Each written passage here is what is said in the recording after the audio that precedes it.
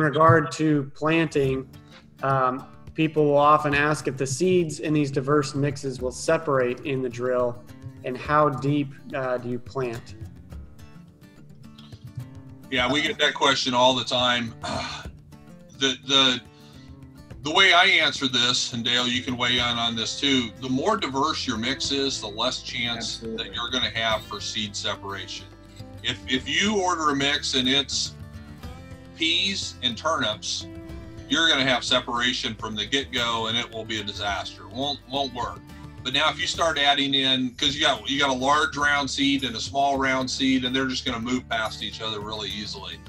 But if you start throwing in oats and buckwheat and rye and sorghum and you know things that have different sizes, different shapes, basically what that does is it, it it plugs all of the gaps and it makes it much more difficult for seeds to move past each other in order to separate. And oats is a great one. We I, sometimes I'll put oats in a mix just to help tie it up and keep it from separating like that because oats is a long narrow shape and it's a it's a rough seed and so it, it kind of sticks in the holes and it plugs the gaps and that roughness keeps seeds from moving past it as easily and it really it really helps bind the seeds together.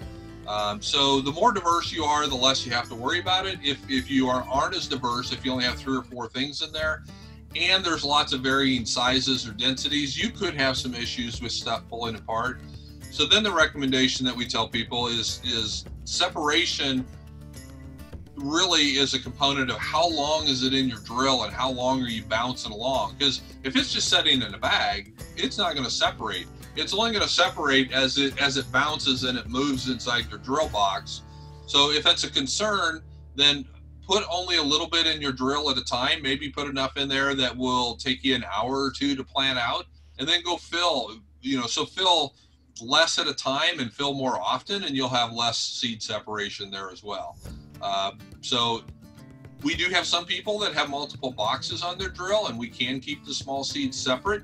Um, I would say we do that once in a while. It's pretty rare. And even people that have the small seed box, once they see how well that stuff really holds together and flows through a drill in a diverse mix, a lot of times they say, ah, it's not worth messing with. Just mix it all together and I'll plant it. So that that's kind of our answer to how how do you keep it from separating.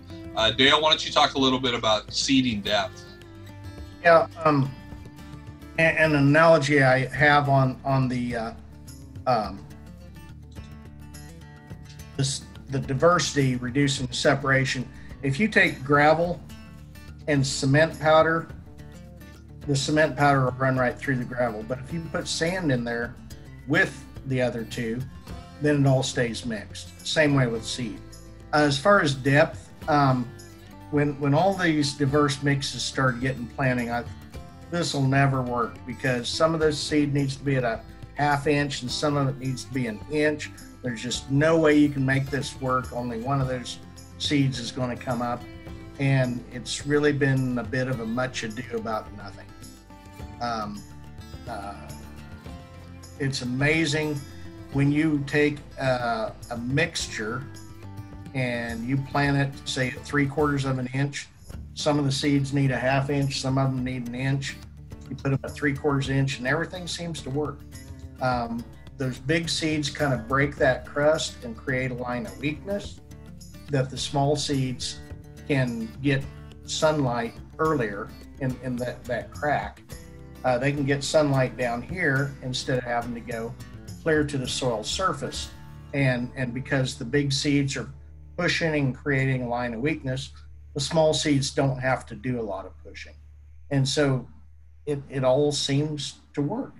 And we have very, very few instances where we get a complete failure of any one seed in a mix. Dale, would you say I? Would you agree with this? I would say that we have more issues with people planting things too shallow and they either dry out or they sprout and then they die rather than planting yes. it too deep and they don't come up. Yes. Yeah, you know, if if you're planting turnips by themselves and you plant them an inch deep, I'd expect complete failure.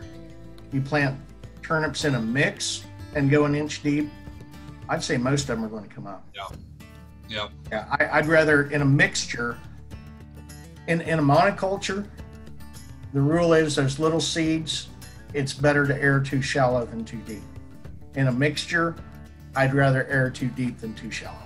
Yeah.